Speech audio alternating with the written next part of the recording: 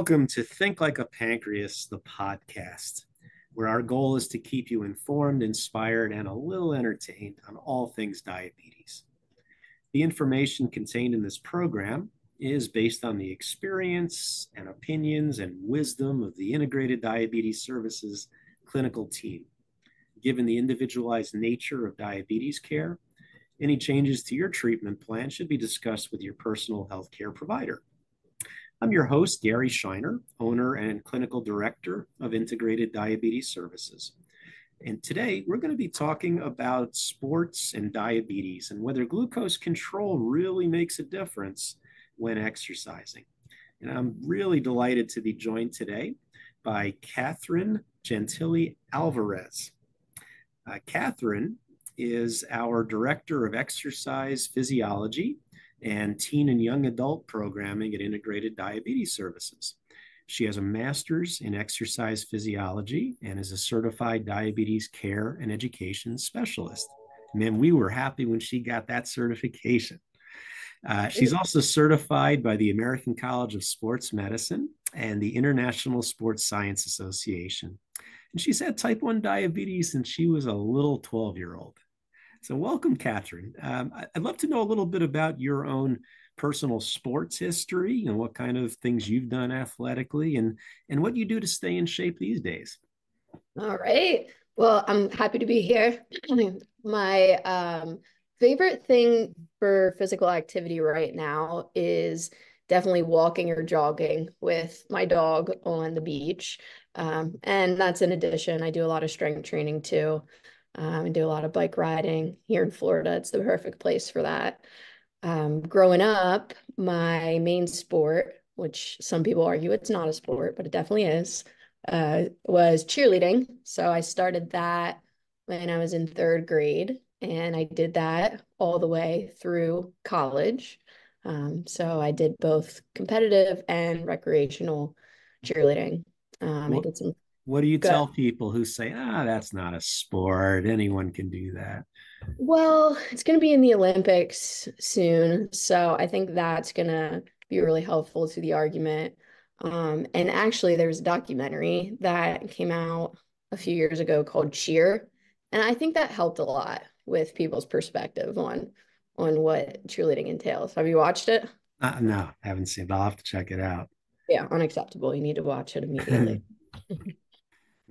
from your own perspective, uh, how how in shape do you have to be to cheer successfully? Well, I mean, it, like any sport, it there's all different levels to it.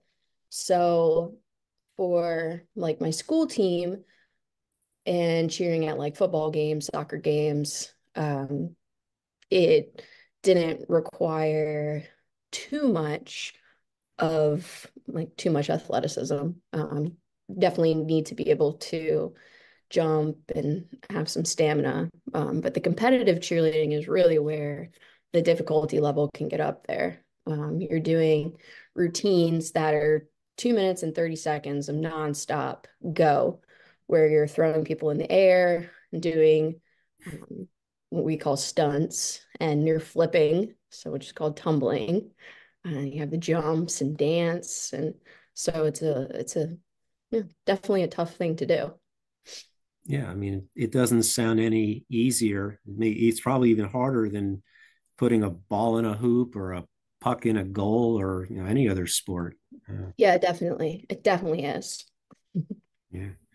So before we talk about you know specifics around glucose management, can you tell us in more ge- kind of general terms what do you feel the role is that physical fitness plays in living well with diabetes? Well, you know, as an exercise physiologist, and you are too, Gary, um, I can make the argument that exercise is one of the most important things in diabetes management. Um, we have so many benefits from it uh, that it's going to help with, but it can also make a lot of things more difficult too. So, the education around how to manage blood sugar around sport and activity is really important. Um, but the main things are it's going to reduce the risk for heart disease, nerve damage. Um, it's going to improve insulin sensitivity, which can make diabetes, navigating it a lot easier in many ways. Uh, helps with anxiety, depression, so, so much mental health things that um, we have extra burden to in life with type 1 diabetes. So the insulin sensitivity part, I can definitely relate to. If I miss a workout just one day, my sugars start to go up. I miss two days, they go up more. And mm-hmm. unless I've got a, you know, I'm sick or I've got like three broken limbs, I never go more than a day without working out. So I don't get to that two day mark very often. Uh, but yeah, that it, it's a major thing. It definitely influences our ability to control our glucose levels.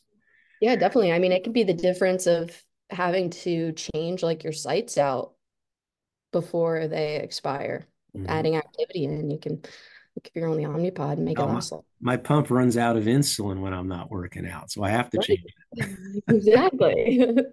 All right. Well, let's flip it around. And rather than talking about the effect of exercise on blood sugar, let's talk about the effect of blood sugar on exercise.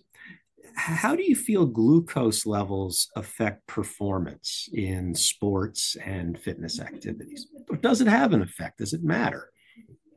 Definitely, it does matter. Um, and there's not enough research on this. This that is for sure. Uh, there is, I don't know, I think I've only read one study, and that's all I've come across. Have you come across more than that? Yeah, there is a dearth of really good research on the impact of glucose levels on mm-hmm. specific performance parameters. I mm-hmm. agree completely. Mm-hmm. There's such an opportunity for research in that area. Yeah, absolutely. Um, but I mean, just in myself and talking to so many other people with type 1 diabetes, we find that the high blood sugars definitely seem to slow us down and I I like to call it like a lag. Mm. Uh, high blood sugars make it feel like almost like we're lagging. It makes your body almost feel like heavier, and you can't move as mm-hmm. quickly. You can't respond as quickly to the things going on around you. Um, and then hypoglycemia, if you're gonna have to sit out. So, um, and I think everyone has a different number or range of blood sugars where they're going to perform their best. I don't think it's the same for everybody. I think that some people will be able to have great performance with a blood sugar that other people would get that kind of lag high blood sugar feeling with. So. Yeah, I know when I play basketball that when my glucose is in a decent range, and for me, it's like low to mid 100s, mm-hmm. I, I perform better and I feel better mood wise. Um, my reaction times are better. My stamina, the stamina part is enormous. I find when yeah. sugars are running even a little bit on the high side, my stamina is just not good. I run in, I hit that wall, I just get tired a lot easier. Mm-hmm. You find that to be, to be the case? Yep, it's the same same exact thing for me. I just cannot, I can't move as quickly. Um, and like for cheerleading, uh, this was a really hard thing for me to navigate when I was first diagnosed was I had cheerleading competitions and get like that adrenaline rise.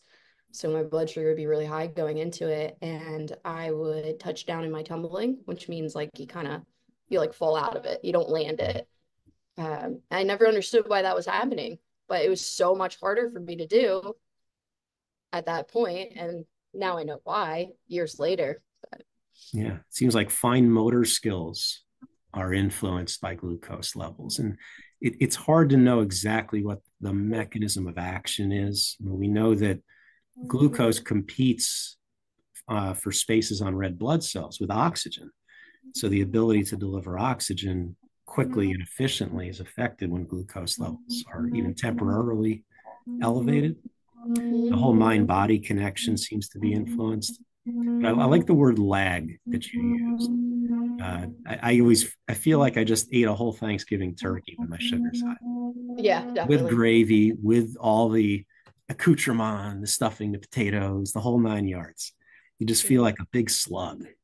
Yeah. Slug like feeling. And that's no way to perform.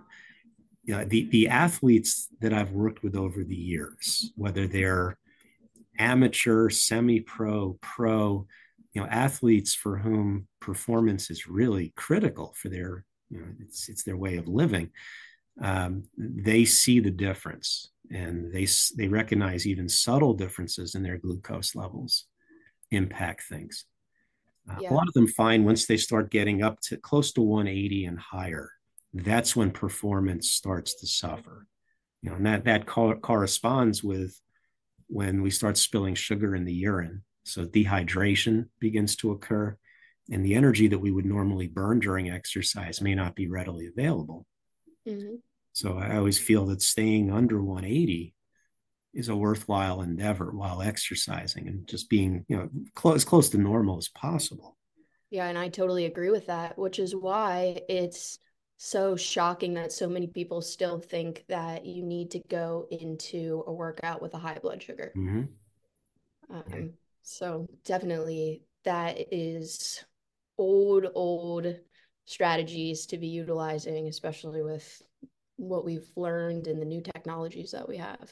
Yeah. So I just got off the phone with a mom a little while ago whose son plays baseball.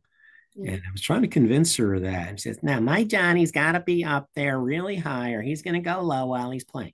What do you tell someone like that? What, what can they do to prevent a low without starting high? Well, a big thing is, I mean, it really depends on what system they're using. A lot of people are now on hybrid closed loop systems, and that's exactly what they do. They get their blood sugar high before they go in, and then they put it on like activity mode that the hybrid closed loop system has. But what they don't understand is the hybrid closed loop system is still delivering them insulin in the background. And for example, the tandem, it's not reducing their insulin sensitivity factor if they're using their normal profile. So they can wind up with a decent amount of insulin on board. And we know that when you're physically active, you don't need as much of that corrective insulin to bring your blood sugar down. So all of that extra insulin given from the system is going to tank them down. Yeah, in any system, whether it's Omnipod 5 or Medtronic or Tandem or even the uh, open source, the DIY type systems, you can mm-hmm. temporarily raise the target glucose and go into your workout with blood sugars that you know aren't quite as tight as usual but it does still doesn't guarantee anything. You know you can still wind up low if you're working out hard enough and long enough. Yeah. Well, what do you um, what do you recommend for keeping glucose levels from dropping significantly during a workout session well, you have to look at a lot of the different variables. Um, are they having a meal beforehand? Um, because if they're having a meal, um, something that a lot of people don't realize is digestion slows down significantly with physical activity. Actually, a lot of people think it's reversed, hmm. uh, but digestion slows down and your insulin starts working extra well. So when food isn't really impacting your blood sugar, but the insulin's working extra well, there's like a guaranteed crash right there. Um, so that time day and the food timing is a big thing to take into consideration for it. If you need to, carb supplementation is an option too. Um, so, what I recommend if you're going to do carb supplementation, it has to be a very fast acting, high glycemic index carbohydrate.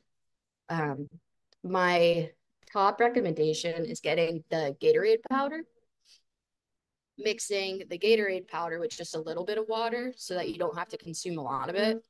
And you're almost taking like a shot of high carb Gatorade. What does uh, that taste like? It, it doesn't taste great, but oh. it's so quick and efficient. You don't have like the chalkiness or the like gel stuff, which is so gross. Um, Does it get gritty when you don't have enough water in there, though? Oh, you gotta mix it. You got those uh the uh, you just, blend bottles. You just chug the powder with with a little bit of water. Yeah. Wow, that's hardcore, Kathryn. Athletes don't mind it. They're like dry scooping their pre workout and stuff. Like dry scooping. Is that a technical term? Dry scooping. Yes, it is. It's like rage bolus. It's one of those technical yeah. words we come up with. Okay. Yeah. But if somebody does uh, choose to exercise or has to do it after a meal time, uh, I assume we're going to cut back on the bolus insulin to prevent that drop. Yeah, and that is another important thing for people to think about when they're using hybrid closed loop systems. What a lot of people will do is they enter in the true amount of carb that they're having, and then they manually reduce the bolus. So, for example, like let's say they're having 40 grams of carb, they type in 40, and for easy math, they have a one to 10 insulin to carb ratio. So, base assuming their blood sugar is in normal range, you're going to get a four unit bolus recommendation from the system. They delete the four unit and enter in two. So they're reducing it by 50%, but they told their system that they were having 40 grams of carbohydrate. So your hybrid closed loop system is like, well, you had 40 grams of carb, and that your settings tell us you need four units of insulin for that, but you only gave two. So eh, we'll just make up the difference and crank it in the background. So you have to actually, this is like the, one of the few times where you lie to your system, you tell it you're having less than what you're actually having, and then cover it that way. Yeah. With DIY, you know, it, it does consider your food entries in its you know insulin adjustments. The other systems don't usually consider that, so you can basically just change the bolus. Although I think in Medtronic, you can't adjust the bolus that it recommends. So you have to lie to it with the carb entry mm-hmm. just put half as much in. But yeah, that makes a lot of sense. Um, do you ever recommend using an extended delivery before a workout so the insulin works a little slower? I would not say extended, um, more split bolusing. Mm-hmm. So, you know, if they are having that meal, they're going to have that digestion impact. You don't want the extended bolus insulin hitting during the workout.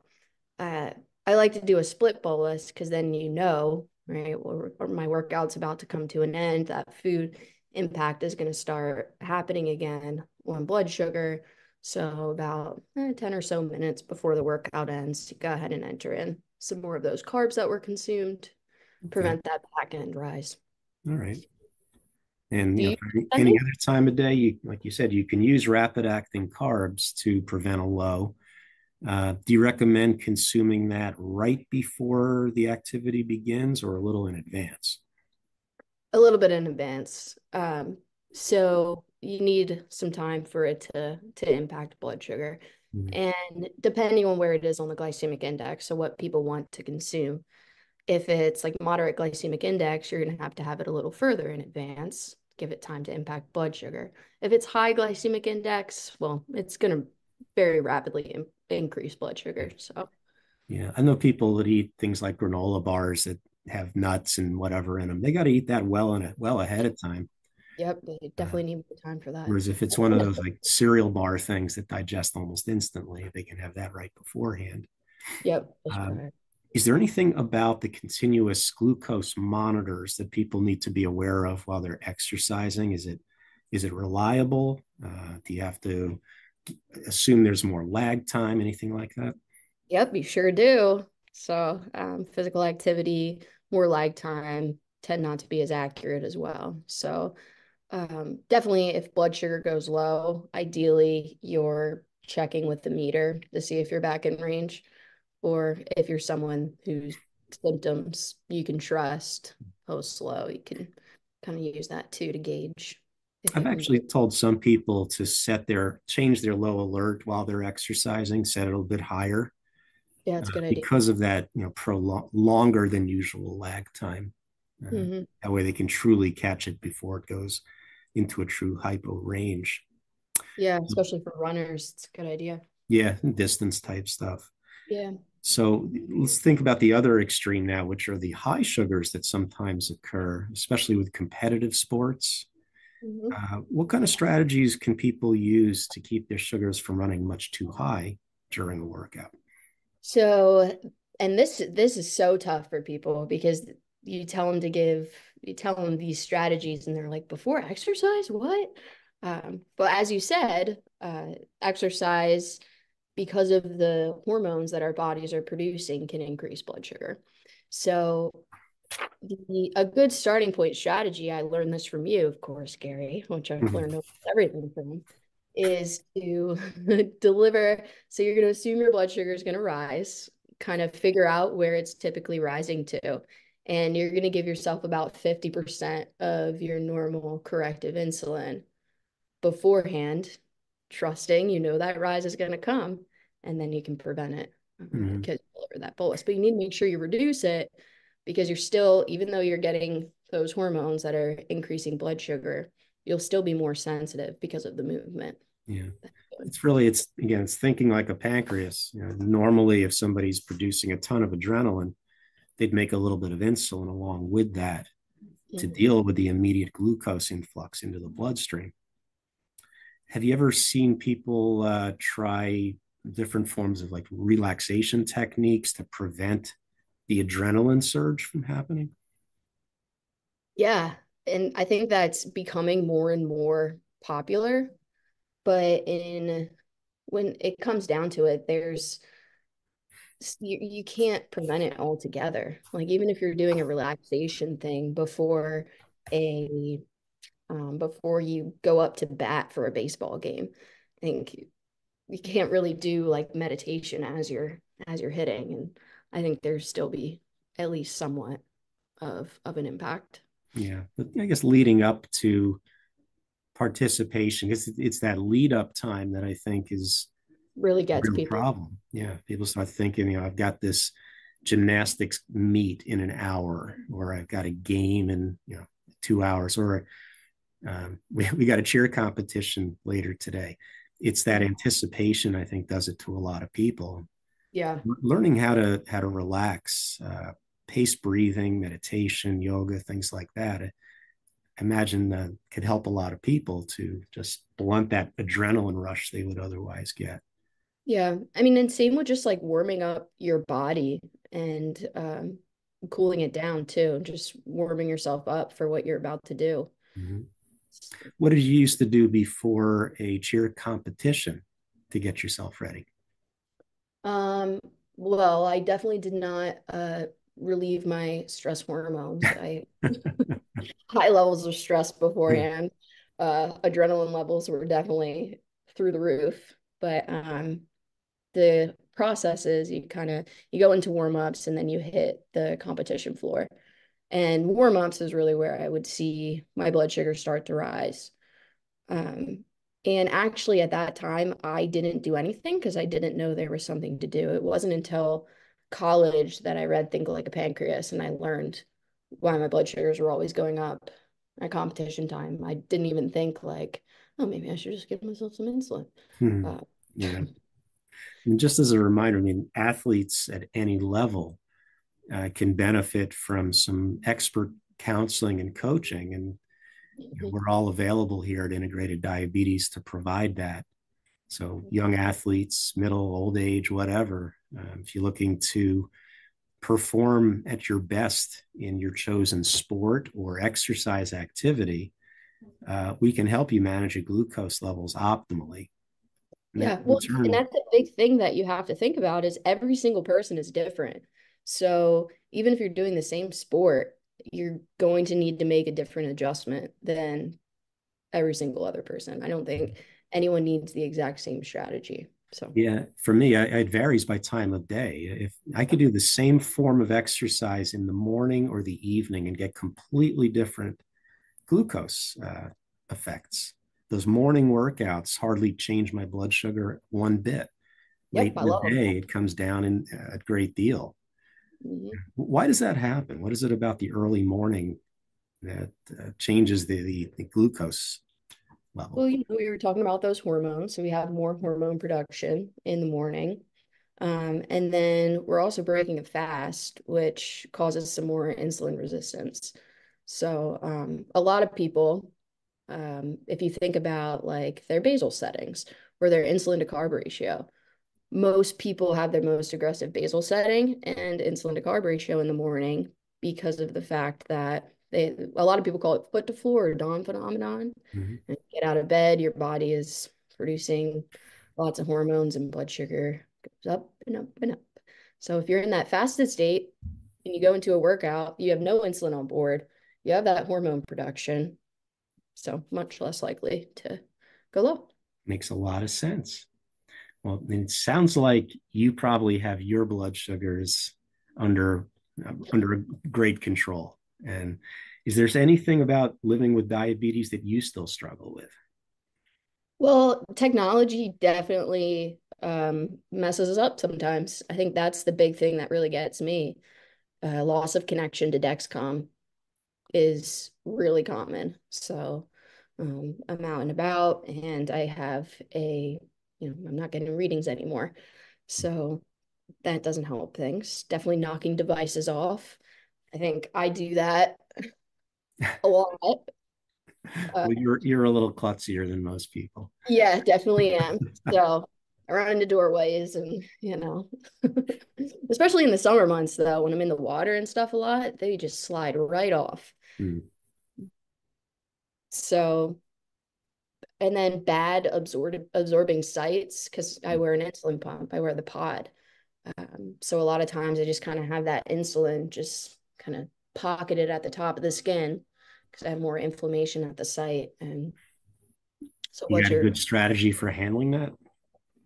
Um, well, I there's certain places that I've learned are more likely to, for that to happen with. So if I use those places, I have to change it on day two instead of day three. Um, so that would be my arms. My arms just get lumps. Uh, it doesn't really happen when I put it on my back where I usually wear it. I'm able to keep it on for the three days, which is nice. But um, if I do see my mealtime blood sugars going a lot higher than what they should be based on doing a pre bolus at the right time and everything, I know it's a bad site. I'll change it out. I have Afrezza, so I'll usually take that, so I don't have mm-hmm. to wait for wait for anything. It comes right on down. Yeah, the sites that don't seem to be absorbing are so frustrating. Mm-hmm. You know, you're doing all the things you're supposed to do. You know, you've counted your carbs like a good little soldier, and you're bolusing and you're exercising and adjusting, and it still doesn't work because the darn insulin's just sitting there, doesn't want to do its job. You know, it's and then it finally hits and you crash down. Yeah, yeah, that's just adding to the fun. Yeah. All right. So, so it was some great information. And is, is there any like one take home message you'd like to share with the listeners when it comes to managing their glucose while exercising? Um, I would want them to remember that exercise can be really helpful. You just need to learn the right strategies and have the right tools um, in order to make it enjoyable and not have diabetes mess with your workouts or make you feel like you're canceling them out because you're having to consume so much carb. Um, there's a way to do it where you don't need to eat all the calories you just burned.